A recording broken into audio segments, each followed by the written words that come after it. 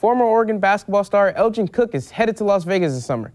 Though he's pressing his luck, it won't be on a roulette wheel. Instead, he'll be on the court with the Sacramento Kings Summer League team.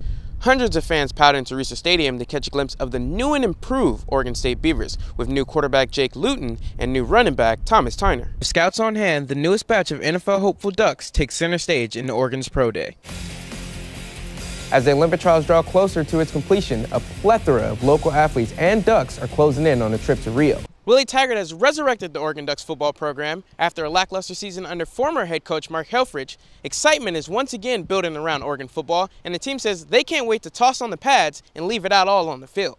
The rain was coming down hard today at PK Park, after a couple of rain delays, the Ducks finally won the ball game 5 to 1, sweeping the series over the Arizona Wildcats. This is day 8 of the US Track and Field Olympic Trials in Eugene, and one of the most anticipated events of the trials, the 110 meters with Oregon star Devin Allen got off to a fast start today.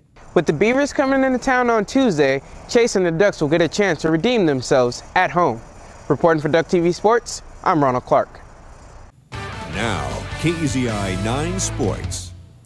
After crushing it in the qualifying rounds yesterday, Oregon's Devin Allen is looking to secure a spot on the Olympic team. He would first have to advance through the 110-meter hurdle semifinals and then on to the finals. For many, the NBA Summer League is a giant tryout, players trying to prove their worth to NBA teams and hoping to gain an invite to training camp. For some already with the team, it provides them an opportunity to continue developing their skills. With one of the youngest rosters in the league, many trying to prove themselves to the Trailblazers, and Las Vegas taking on Phoenix, we pick up the action in a second. Pierre Jackson with the nice feed to Luis Montero for the throwdown. Blazers cut the deficit to five. Just one minute later, Pat Connaughton here misses the wide open three, but Noah Vonleh with the rebound and the putback dunk, 34-28 Phoenix. Then in the fourth, Jake Layman, who Portland acquired from Orlando on the draft day, with the steal and the and one poster over former UW Husky Marquese Chriss. Blazers, though, fall in opener 86 73. The University of Oregon has 18 D1 varsity sport teams, but they aren't the only students on campus staying fit, being active, and competing. All of our physical education classes are just that. They're an opportunity to provide activity for, for students, um, but to provide education around what that looks like and to provide opportunities for students to learn how to be active. The University of Oregon offers 526 physical education courses each year. With the opportunity that these courses provide students, along with club and intramural sports, it's hard to say that D1 athletes are the only student athletes on campus. I wouldn't just call the Division One athletes student athletes. Anybody that comes into the rec center and is active, that's an athlete as far as I'm concerned. Webster's dictionary defines athlete as a person who is trained in or good at sports, games, or exercises that require physical skill and strength.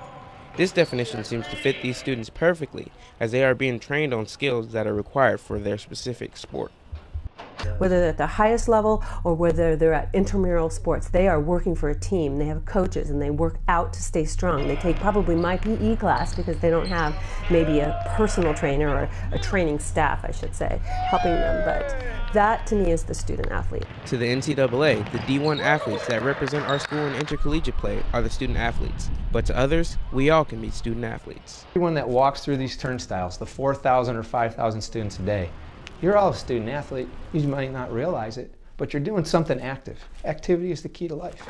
Reporting for Duck TV Sports, I'm Ronald Clark.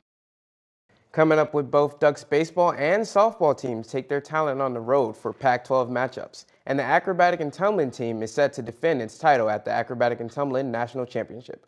We'll have details after the break. Welcome back. I'm Ronald Clark with this week's sports update. The number seven ranked Ducks will have their hands full this weekend with the top 10 battle against their in-state rival, number four, Oregon State. The Ducks will be coming into the series riding a nine-game winning streak. Since the University of Oregon reinstated the baseball program in 2009, the home team has won 15 of the 21 Civil War games. Junior pitcher Jake Reed talked about how hard it is to play in Corvallis. The three-game series begins against the Beavers tonight at 7 p.m. Junior lefty Tommy Thorpe will be on the mound for the Ducks. Moving on to the number one softball team in the country, tonight the Ducks will begin a three-game series against the Stanford Cardinals. The Ducks have now held the number one spot for three consecutive weeks. A huge part of their success this year has to do with the superb play and leadership of sophomore pitching ace Sheridan Hawkins. Oregon News sports reporter Chris Brooklier has a story on Hawkins stepping into the leadership role. You can watch Hawkins and the number one ranked Ducks kick off their series against the Cardinals tonight on ESPNU at 7 o'clock. Another number one team in Eugene is the acrobatic and tumbling team. The Ducks are in Azusa, California for the acrobatic and tumbling national championships.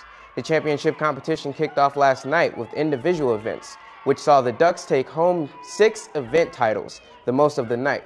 The quest for their fourth consecutive championship continues with the team matchups tonight. That's all for sports. We now send it to Nick Nathaniels with your weekend forecast. Nick?